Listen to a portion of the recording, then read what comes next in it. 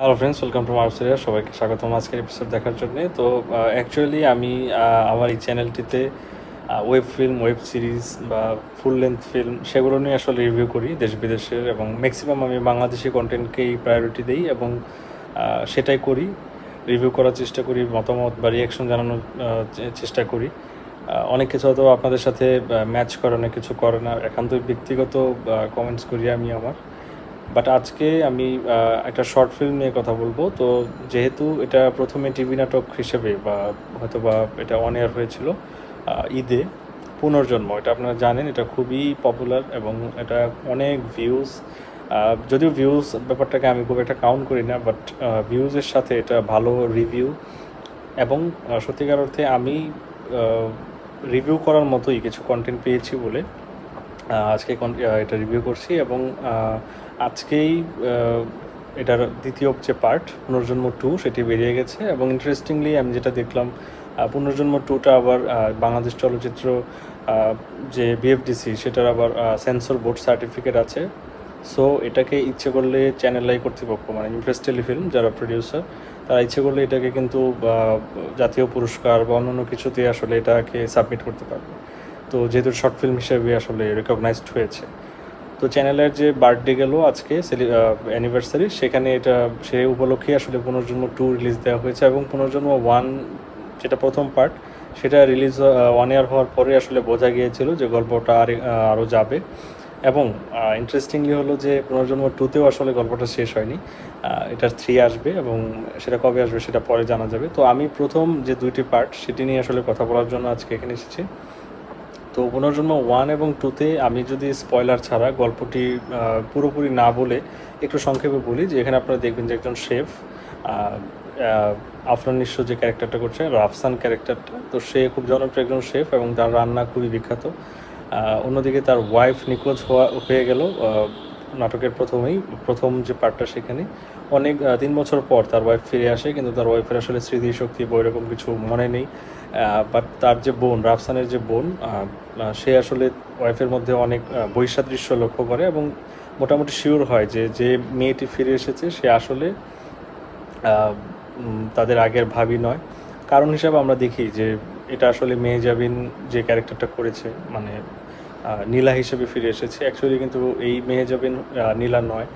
নীলা নিখোঁজ হয়ে গেছে অনেক আগেই। এই মেহেজাবিন এসেছে আরেকটা ভিন্ন ক্লাসের মেয়ে সে। ড্রাইভার যে ছিল নুরু, তার প্ররোচনায় সে আসলে একটা প্রতারণার অংশ হিসেবে যেহেতু তাদের চেহারা সেম মানে নীলা এবং এই মেয়েটির যে চেহারা সেম সেটার সুযোগ নিয়ে সে আসলে এই বাড়িতে এসেছে। এটা ছিল আমাদের প্রথম গল্প এবং শেষে একটা টুইস্ট থাকে স্বাভাবিকভাবেই এবং সেই টুইস্টটাই আমাদেরকে দ্বিতীয় গল্পে আসলে নিয়ে এসেছে। তো প্রথম গল্পে আমরা যে সত্যটা জানতে পারি সেটা আমি না বলি স্পয়লার হয়ে যাবে। সে সত্যটা অ্যাকচুয়ালি জেনে ফেলে এই যে মেয়েটি বাসায় এসেছে সেও।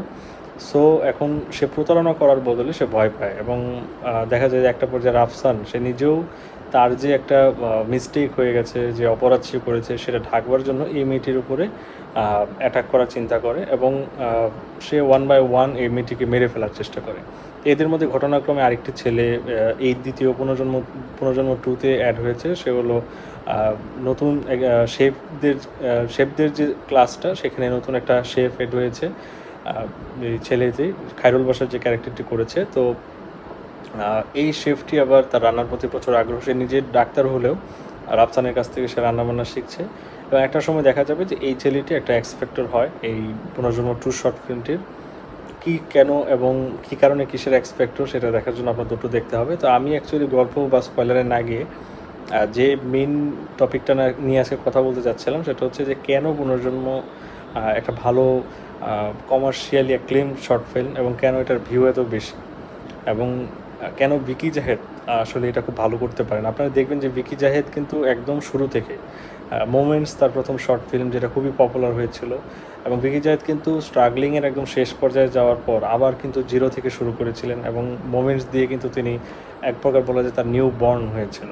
তো শর্ট ফিল্ম বা কমার্শিয়ালি অ্যাক্লেম শর্ট ফিল্ম যেটাকে যেটাকে আমরা সচরাচর যে ইউটিউবের যে ভিউ এবং জনপ্রিয়তার দিক দিয়ে যদি আমরা বলি টিভিতেও সেদিক দিয়ে কিন্তু ভিকি জায়েদ অনেক এগিয়ে এবং সে আমার মনে হয় যে ভিকি জায়েদ দর্শকদের যে বিটটা এবং দর্শক কোন জায়গায় আসলে প্লেস করবে সেটা খুব ভালো বুঝতে পারেন এবং সেই জন্য উনি নিজেও একটু স্টাডি করেন এবং তার গল্পে কিছু স্টাডি ম্যাটেরিয়াল তিনি ঢোকানোর চেষ্টা করেন যে কোনো গল্পটা একটু শক্ত হয় এবং আমার মনে হয় যে খুব পারফেক্ট একটা এন্ডিংয়ের দিকে যায়। হ্যাঁ এটা ঠিক যে বিকি তোর আসলে ট্রিটমেন্টের কিছু লুপহোল আছে। এবং এটা স্বাভাবিকভাবে সব পরিচালকেরই কিছু না কিছু থাকবে। বাট আমি যে পজিটিভ বিষয়টা নিয়ে বলব, বিকি যায় নার্ভটা বুঝতে পারেন দর্শকদের এবং সেটাকে নিয়ে উনি খেলেন।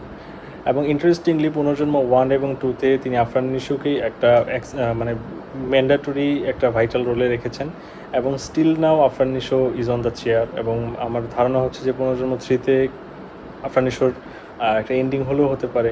তার এই যে তার গিলটি ফিলনেস এই যে তার ক্রাইম সেটা একটা এন্ডিং বা টার্মিনেশনে আসতে পারে বলে আমার ধারণা। এবং পুনর্জন্ম টুটাও এরকমভাবে শেষ করা হয়েছে।